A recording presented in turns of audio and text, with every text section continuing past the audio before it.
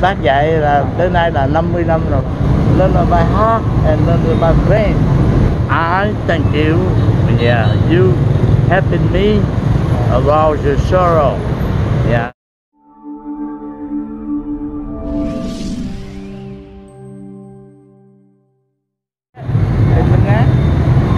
What's your name? Yeah, my name is Mr. Hai Đức. Bác thứ hai tên Đức cho nên người ta thường gọi là bác Hai Đức Ấn Đô Hai Đức ông là bao nhiêu tuổi ông tên gì không 95 chín mươi lăm Dạ, tuổi xưng Tạ Đình Đức giáp sư Tạ Đình Đức là giáp sư đã Dạ. Bây giờ kêu bác ra bác điện Nói chỉ học trò bác dạy được rồi. Dạ. Bác hỏi "Dạ, Có gì mà học trò lợi hỏi thôi không? Chỉ. Ai có muốn học tiếng Anh thì liên hệ tới ông ha. Dạ. Để ông ờ, dạy cho Dạ. tiếng Anh. Có thể là mấy cháu có tứ tài ông sẽ đưa mấy cháu lên làm thầy giáo đó. Dạ.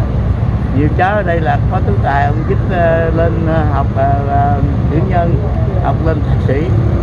giờ lớn tuổi quá thì mình dạy ờ, ờ? À, mấy mấy cháu ở chùa về qua bên Mỹ rồi một trăm mấy chục đứa nó biết viết thơ vậy thầm ông nói thầy có tiền xài ông nói thầy không cần tiền thầy cần mấy em học giỏi bây giờ ở bên đó Mỹ là thầy giáo hết rồi.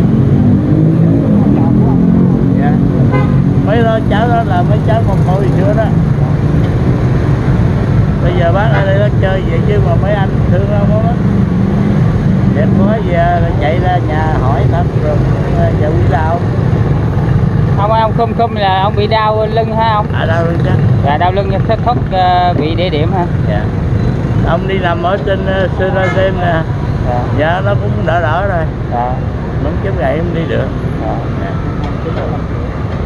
Ông đi bằng xe đạp phải không? đấy xe đạp ông đâu đó Dạ.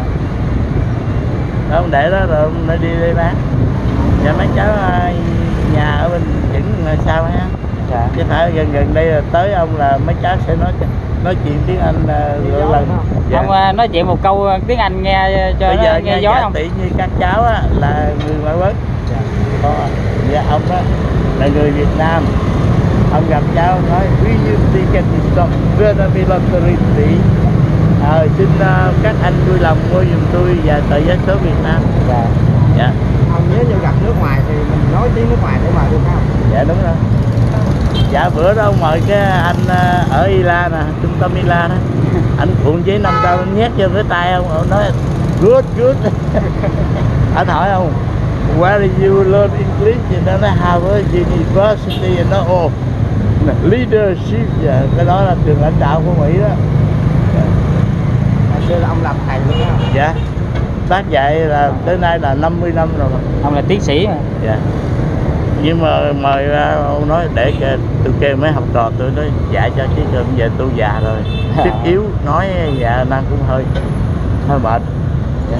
còn bây giờ bán vé số thì chỉ là bán cho thay Dạ. thôi dạ bán để mình cũng như là có cái giao tiếp là một có cái vận động là hai có cái là để cho sức khỏe mình đó mình không phải bị lãng quên Dạ.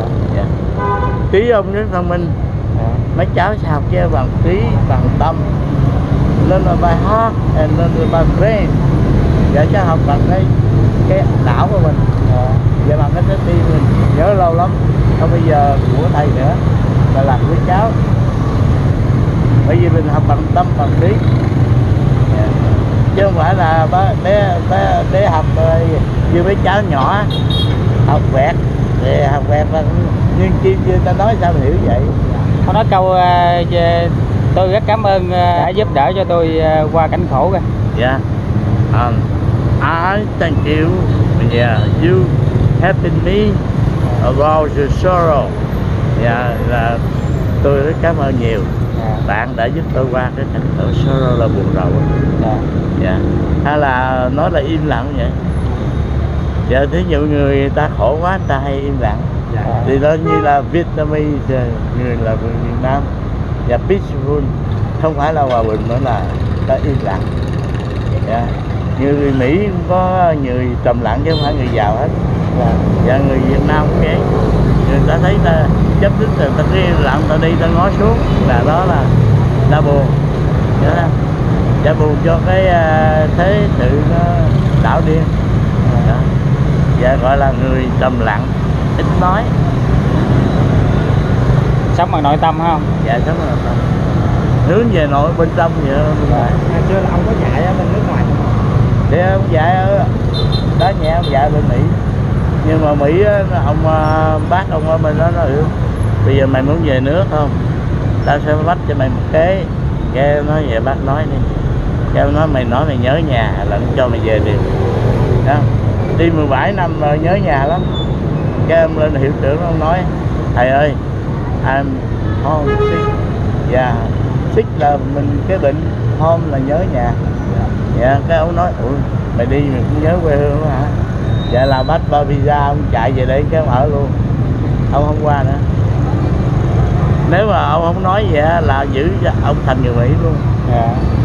Dạ vì lúc đó người mỹ việt nam ít lắm ông ơi ông cũng như ông làm tài xế ông có cái ờ, lời nào để nói với cái tuổi trẻ hiện tại không dạ ông ờ, yêu cầu mấy cháu là ờ, phải học à dạ cái gì cũng vậy giáo dục á, là nền tảng dạ con người á, mà có ờ, mời văn hóa hay là văn minh đó là không nhờ giáo dục.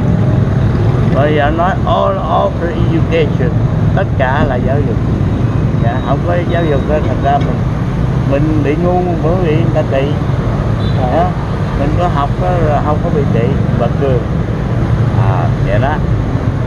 Dạ mấy cháu à, giờ, giờ, giờ cho ông bán giúp nha để hết dạ dạ dạ. Em cảm ơn Dạ. ông nhau dạ rồi ông, à, à, sức khỏe dạ, nhau ông cháu mình ở đây thường ra vô gặp nhau dạ. Dạ con sẽ gặp nhiều lần. Dạ.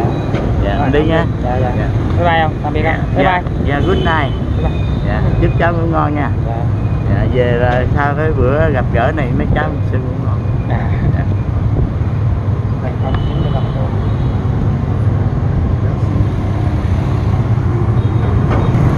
Tại thì ngay cái góc ngã tư này à, thì à, quý bà cô chú đi ngang thì à, ghé ghé lại ủng hộ cho ông vài tờ cái số nha quý bà cô chú.